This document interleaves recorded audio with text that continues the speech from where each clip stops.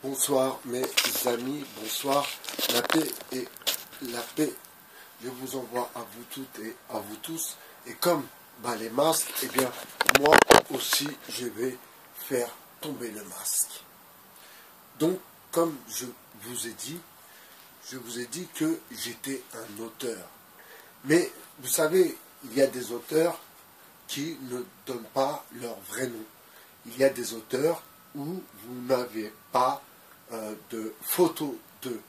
Il y a des auteurs qui préfèrent, ma foi, rester dans l'anonymat et aussi dans le but de pouvoir créer des personnages. Vous comprenez? Il y a des auteurs qui sont auteurs, mais qui créent aussi un autre auteur. Vous comprenez? Bon, excusez-moi, c'est peut-être vous demander un peu de hauteur, mais bon, voilà. Moi, ma stratégie, c'est de d'essayer de développer donc le lancement de la chronique d'une romance d'aujourd'hui, mais en essayant de développer ce travail avec vous. Et euh, je vous le répète encore, il euh, n'y a pas de truc de YouTube, toutes ces conneries. Moi, j'essaie juste d'être juste avec vous, de vous emmener euh, l'envie de vouloir découvrir un peu plus euh, mes écrits. Et quand je vous ai dit que je n'ai rien à vendre, je n'ai rien à vendre, c'est-à-dire je suis un auteur, donc euh, si j'ai quelque chose à vendre, c'est quelque chose qui, euh, qui demande de la labeur et beaucoup de travail. Et j'espère sincèrement, du fond du cœur, avoir un peu plus de retour de votre part. Et j'aimerais aussi savoir quel sujet vous intéresse, quel sujet vous intéresse pas, de quel sujet vous aimeriez bien euh, développer.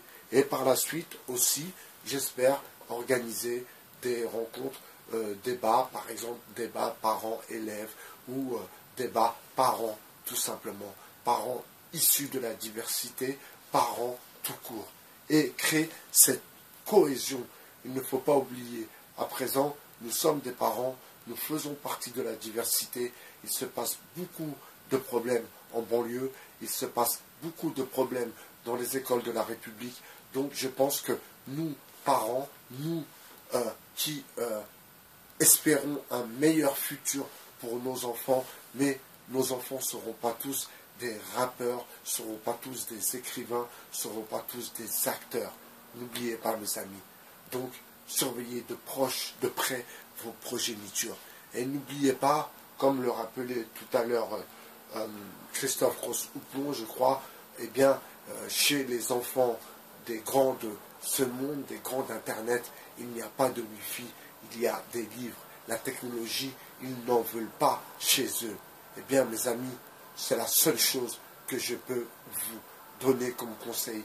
Éloignez vos enfants de tout ce qui est technologie et retournez, retournez à la base. Je vais vous raconter une petite période de ma vie, mais ma foi, la période qui a fait qui je suis aujourd'hui. Le dimanche soir, nous nous réunions, nous, on se réunissait tous en famille, on était sept autour de la table et nous jouons au baccalauréat. Vous connaissez le baccalauréat? Avec pays, ville, animaux, et puis voilà, il y avait ma maman, que Dieu ait son âme, qui ouvrait le bal. Et vraiment, ce jeu-là nous a apporté beaucoup de vocabulaire et nous a fait aimer encore plus le français. Donc, je vous invite à jouer à ce jeu avec vos enfants. Vous allez voir que c'est quelque chose de passionnant et surtout, ça leur donne l'envie euh, d'apprendre des choses et aussi, ça les fait réfléchir rapidement. Vous comprenez? Nom, euh, lettres, pays, ville, animaux, etc., etc., capital, ensuite point.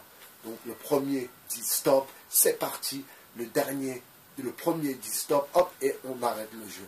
Voilà, je vous invite des petits jeux communs, des petits jeux des gens populaires, des gens populaires comme la classe d'où je viens.